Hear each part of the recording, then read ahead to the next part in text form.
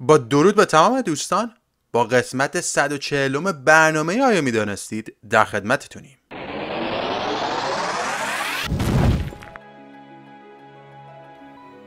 آیا می‌دانستید نیروی دریایی مغولستان فقط از یک کشتی و هفت دریانورد تشکیل شده و از آن هفت نفر فقط یکیشون بلده شنا کنه؟ آیا می‌دانید نژاد این بز دمشقی یا شامیه که در کشورهای سوریه، قبرس و لبنان پرورش داده میشه؟ آیا می‌دانستید خاک نرم زیر برج پیزا سبب کج شدن اون شده و همین خاک نرم چهار بار از خراب شدنش به دلیل زلزله های قوی جلوگیری کرده؟ آیا می‌دانید مار وایپر بیتیس یکی از سمیترین مارهای آفریقاست و بیشتر از هر مار دیگه آدم میکشته؟ راستی شکل روح رو روی سرش می‌بینید؟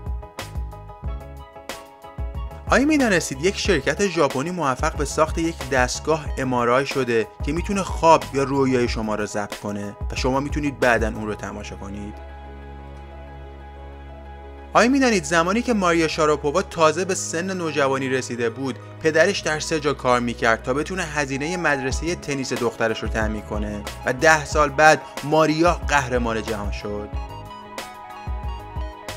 آیا می‌دانستید آنجلا مرکل فقط یک سیاستمدار قدرتمند نیست بلکه او در رشته فیزیک کوانتوم تحصیل کرده و در سال 1986 دکترای خودش را از آکادمی علوم برلین دریافت کرد؟ آیا می‌دانید نیک وویچیچ استرالیایی بدون دست و پا به دنیا اومد؟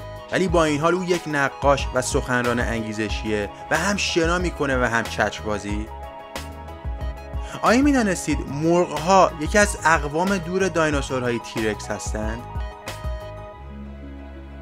آیا می‌دانید در یکی از کنسرت های رولینگ ستون چهار نفر کشته شدند ولی جمعیت حاضر تغییری نکرد چون چهار بچه در همانجا به دنیا آمدند آیا می‌دانید در اوایل سال 1900 میلادی تناب کشی هم یکی از ورزش های المپیک بوده؟ آیا می‌دانید پشه ها بیشتر از تمام جنگ های دنیا آدم کشتند؟ آیا می‌دانستید یک مرد ناشناس نروژی برای ده ساله که هر چند وقت یک بار داخل های زمین گلف مدفوع می‌کنه؟